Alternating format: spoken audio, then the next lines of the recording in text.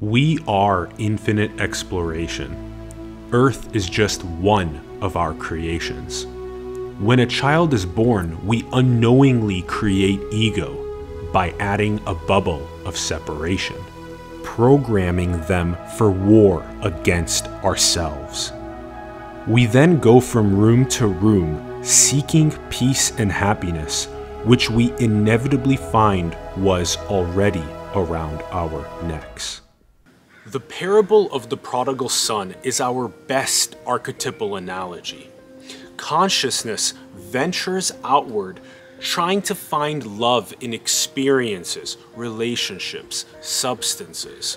It then hits a breaking point, typically catalyzed by suffering, when it turns inward to analyze the very act of seeing itself.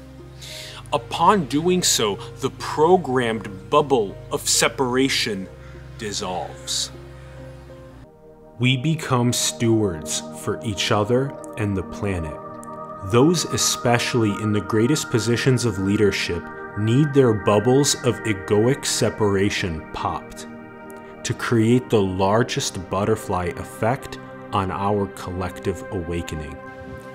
A human is just like a tree the roots need to be nourished in order to produce fruits.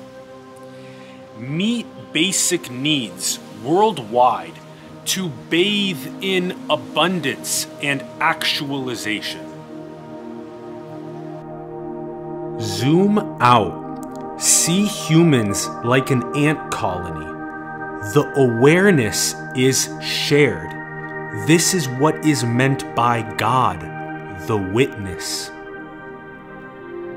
We are mirrors for each other in collective ascension, gradiented from dirty ego to pure enlightenment. There is nothing more paramount than cleansing one's mirror. Parents, do the world a great service by not allowing your child's ego bubble to even form. Starting at birth, communicate infinity to children. That we are dreaming this entire adventure just to play and learn.